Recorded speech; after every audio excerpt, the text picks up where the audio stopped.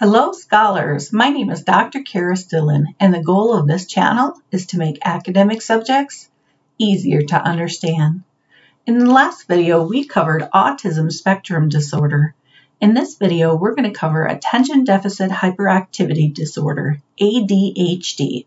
So let's begin. In the past, you may have heard the acronym ADD as well as ADHD. As of the fifth edition of the DSM, psychologists now diagnose all issues as ADHD. The hyperactivity component can show physically, but it can also show within the brain, as in somebody's brain is tending to be more hyperactive in its thoughts. When an individual is diagnosed with ADHD, the first component is the inattention this inattention will interfere with a person's student life, work life, or with issues at home. We have to have six of the following criteria or symptoms for at least six months in order for a person to be diagnosed with ADHD. Now, here are the six plus symptoms. Number one, not being able to pay attention to certain details or always making simple errors or mistakes. Number two, having trouble paying attention to lectures, people talking, or someone reading something. Number three, they have a difficult time listening to someone who is talking with them for a long period of time. Their mind tends to wander. Number four, has trouble following instructions or has trouble finishing projects, especially school projects, or they have trouble finishing projects at work. Number five, they struggle with organizing tasks, meaning they have trouble with messiness, um, trying to put things together, holding on to material, or they have poor management skills given their own time. Number six, they tend not to choose or like activities that take quite a bit of time to complete. Number seven, they'll often misplace things like their keys, their wallet, their purse, their schoolwork, glasses, cell phones, etc. Number eight, can become easily distracted by others in the room, especially if they're moving around or talking. Number nine, may forget to complete daily activities that are expected of that individual, whether it be their chores or their homework. Now comes in the hyperactivity or impulsivity component of the diagnosis.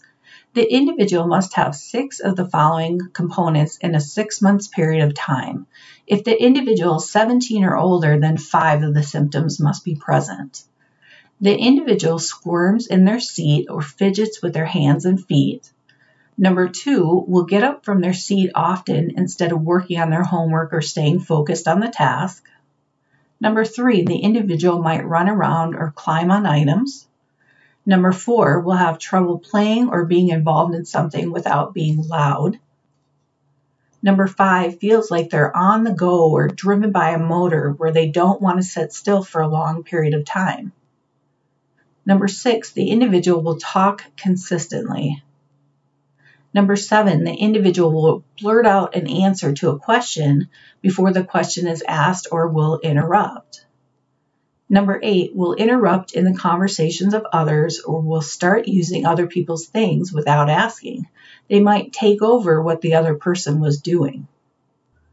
These symptoms will also present in school and at home as well as at work. These symptoms interfere with social, emotional, academic, or occupational settings. And the symptoms are not the result of schizophrenia or another psychotic disorder. It should be specified if the ADHD is mild, moderate, or severe.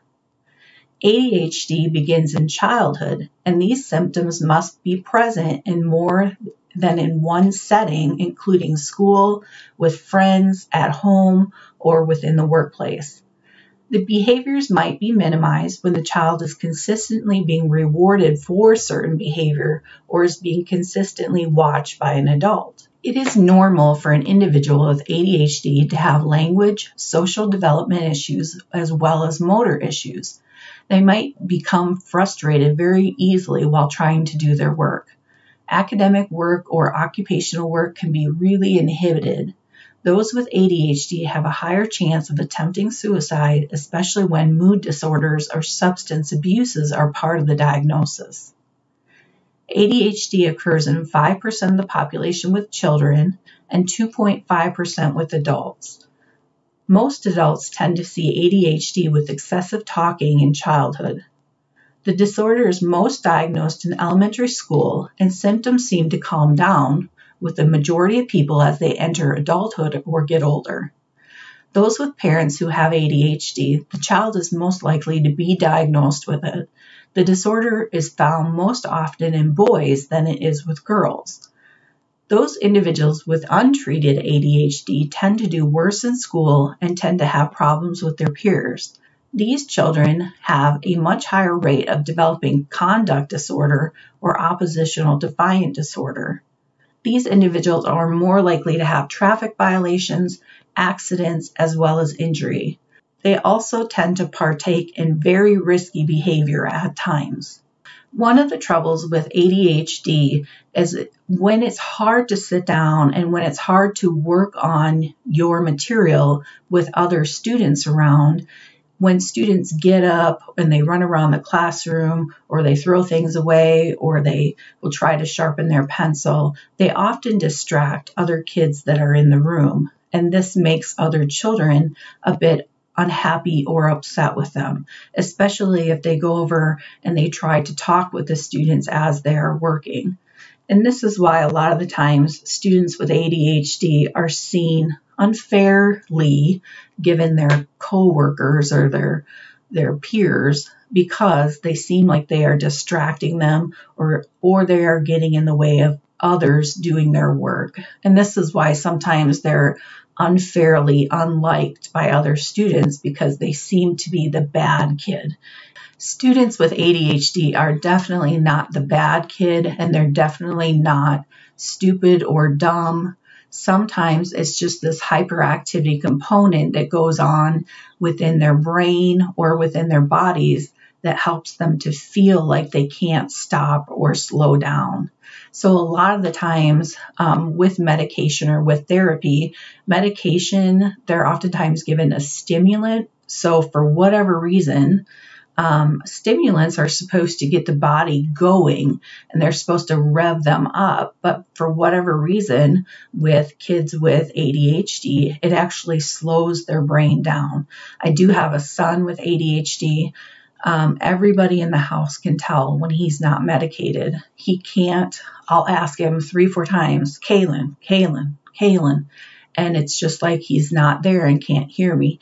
The minute the meds are in for 20, 25 minutes, I'll say, Kaylin, boom, he's listening to me right away. He can follow directions. I won't work on his schoolwork with him unless he has his medication. Now, that's not me trying to push medication on anybody. I keep him on the lowest level of medication that I possibly can because, yes, I do worry about those things, but he is a happier boy with medication, he knows he can get things done. And he says he's even a better video game player because of it. So that is just my my situation with this. And so I wanted to offer my own perspective on it too. Well, that is the end of our video. If you like the video, please click that like button and don't forget to subscribe. I hope every one of you has an amazing day, and I will talk with you soon.